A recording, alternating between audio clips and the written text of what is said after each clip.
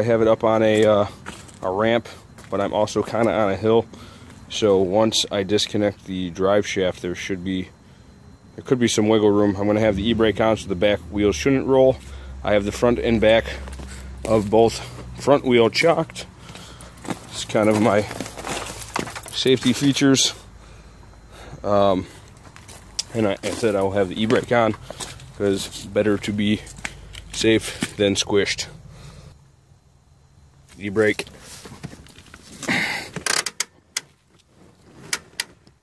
On. Now there should be no wiggle in the car. And in the event there is some wiggle, we have it chocked.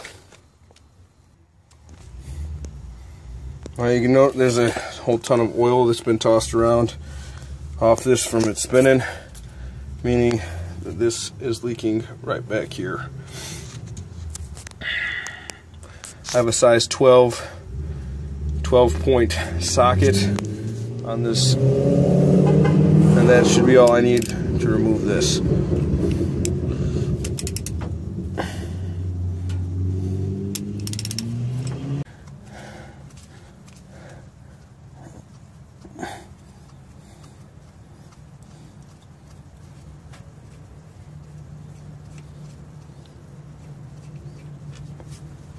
That is four. And there goes the drive shaft. Now, I gotta find, figure out whatever size that is. It's a pretty big one. Floodlight's pretty hot. It's uh, pretty good. be right back with a set of relatively large impact sockets. Breaker bar hooked up to it. It is a one and one sixteenths. I had a one inch and a one and a quarter. I go by socket uh, in between that sizes, one and one and a quarter to find the correct one. It is one one sixteenth. I made a mark on the socket and on the nut and on the face of the uh, uh, this yoke or whatever it's called. And I'm going to count out how many turns it, it was and put it back on at the same spot. same number of turns. Breaker bar.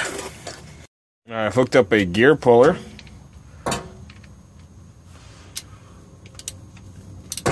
Which I will slowly press this off. You should be able to see it do so as I crank it.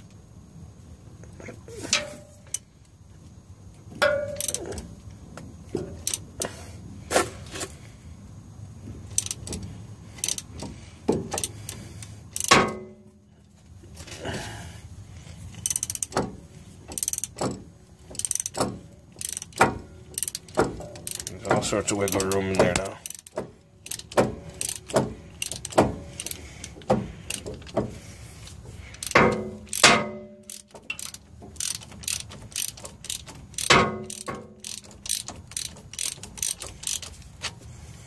I almost think I can pull it off with my hand now.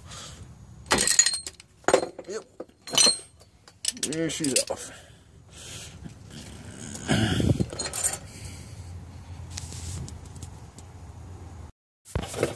Alright, so I got this thing up. Uh, I pounded on a little bit with a hammer and this uh, pry bar. And I'm still working my way around it to get it out. Um, the seal that I got matched part number, you know, engine size, all that. It doesn't look the exact same, but I put it on the front of this thing and it appears to fit right on, no problem. So I'm gonna try it. Oh. I will save this old one because it will have a part number. If I need to change it again, it will be a pain in the arse, but not undoable. And I'll be have all the tools, won't have to stop halfway to go get sockets. It should go a lot quicker to do it again.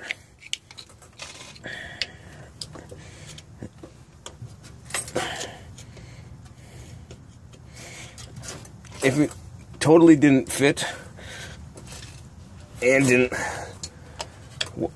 because I matched I got the right part via like engine size.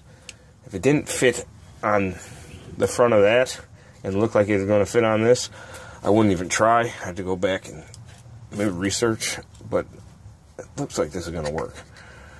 So I'm going to keep prying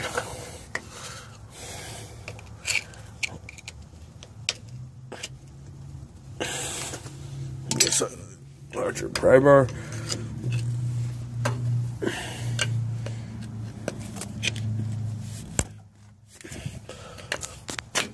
said, I'm doing all this one here. It's a little bit harder. Hold one.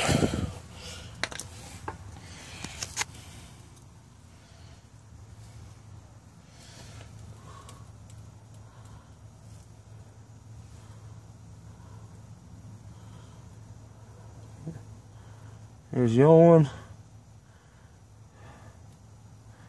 There you go. Here's a new one.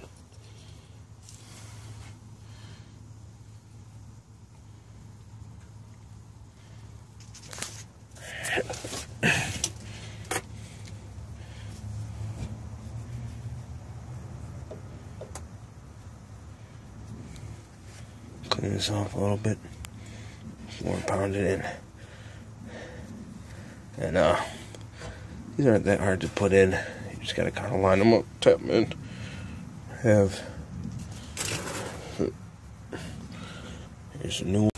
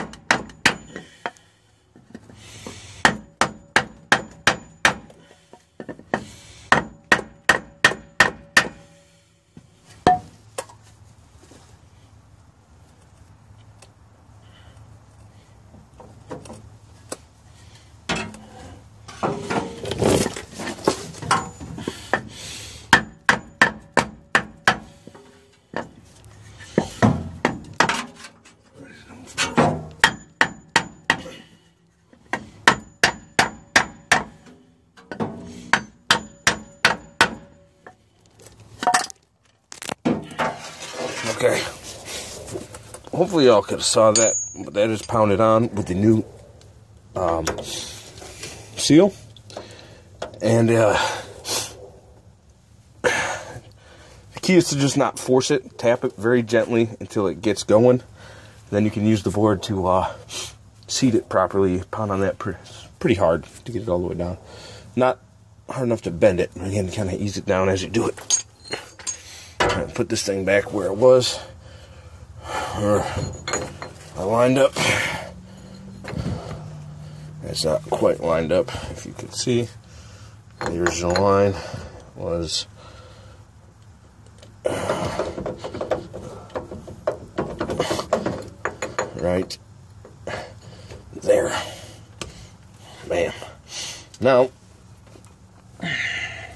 this big nut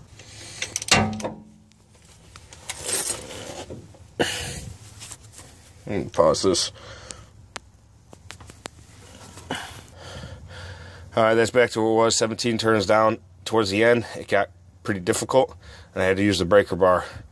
Uh, so hopefully that's exactly set how it needs to be. If you look at this, it all kind of looks like it's fitting. So next thing is to do is put the uh, drive shaft back on. I'm going to get some Loctite for those nuts. I got two of them in. Third one.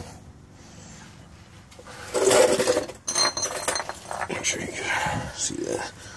So I got Loctite on them. These are just going finger tight getting started. I'm gonna crank them down. Loctite.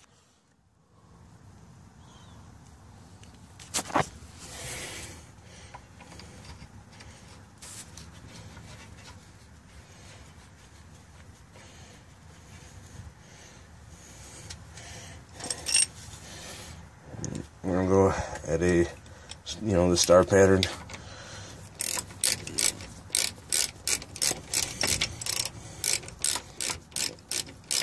Every other type of tighten down, hand tight. Well, a little bit more hand tight. Really crank them once. With the Loctite, these shouldn't come out. You don't want to be the, uh, the one.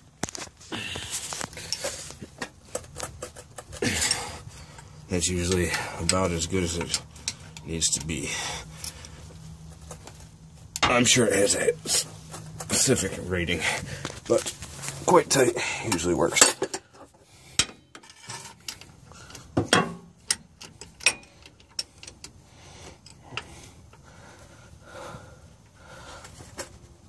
Lastly, I'm going to put about a quart of differential fluid in.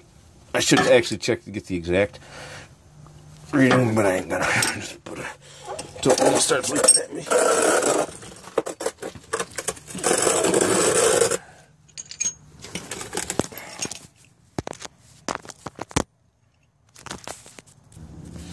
Alright, this is the uh, drain cock. It's got a film of like metallic particles on it. And this is the hole.